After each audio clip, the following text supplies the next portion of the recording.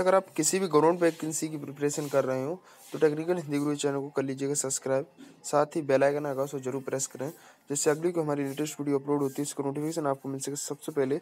और आप आसानी से सबसे पहले वीडियो देख सके। फाइनली फ्रेंड्स वीडियो में बात करने वाले हैं रेलवे ग्रुप डी की वेटिंग लिस्ट के बारे में। जी हाँ फ्रेंड न्यूज़ जो है वेटिंग लिस्ट की आ चुकी है।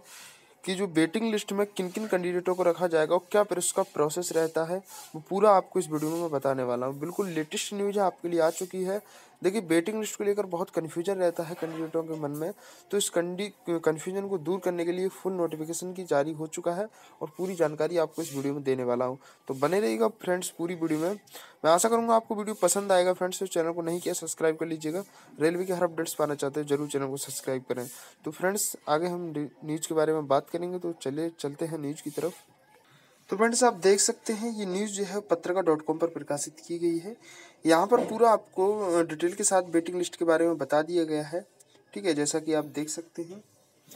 तो यहाँ पर बताया जा रहा है, यहाँ पर बताया जा रहा है, रेलवे द्वारा इस बार ग्रुप डी ग्रुप सी और ग्रुप डी में नब्बे हज़ार पदों से, की भर्तियों से जुड़ी यहाँ पर पूरी जानकारी यहाँ पर बताने वाले हैं।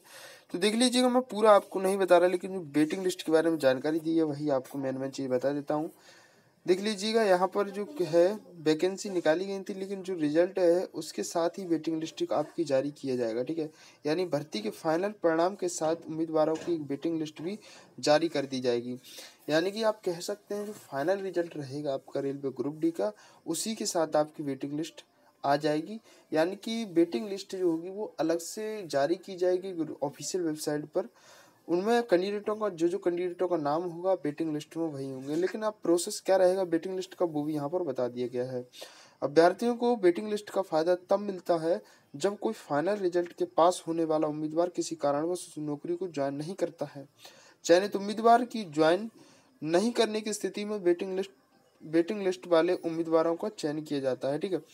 तो यहाँ पर जो वेटिंग लिस्ट में उन्हीं को फ़ायदा मिलता है। जो कैंडिडेट क्वालिफाई करने के बाद भी जॉब को ज्वाइन नहीं कर पाते नौकरी को, तब ऐसे में जो वेटिंग लिस्ट में उम्मीदवार हैं, उनके लिए यहाँ पर रख दिया जाता है। साथ ही आगे बता देते, हम यहाँ पर बता रहे हैं। आपको बता दें कि कई बार उम्मीदवारों को एक साथ प्रतियोगी परीक्षाओं में सिलेक्ट हो जाता है। ऐसे में उसे उन सभी भर्तियों में से किसी एक को चुनना पड़ता है। जब वह किसी एक पद पर ज्वाइन कर लेता है तो बाकी की वैकेंसियों उसका पद रिक्त हो जाता है।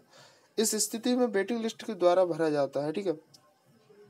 यानी कि कह सकते हैं, कोई कैंडिडेट अगर क्वालिफाई कर जाता है तो उसका जो है कई भर्तियों में किसी एक जो है, कई प्रतियोगी भर्तियों में उसका सिलेक्शन हो जाता है।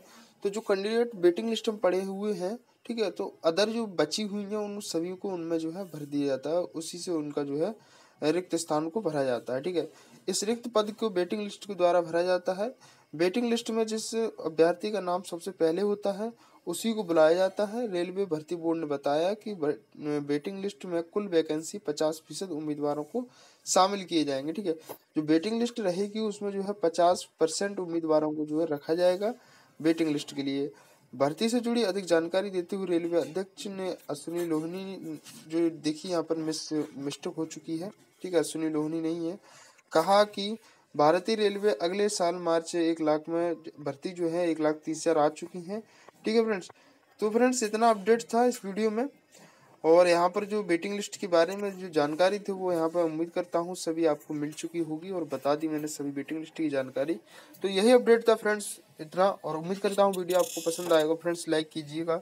चैनल को नहीं किया सब्सक्राइब कर लीजिएगा। रेलवे के हर अपडेट्स पाना चाहते हो, ज़रूर टेक्निकल हिंदी चैनल को सब्सक्राइब करें। धन्यवाद दोस्तों, वीडियो देखने के लिए।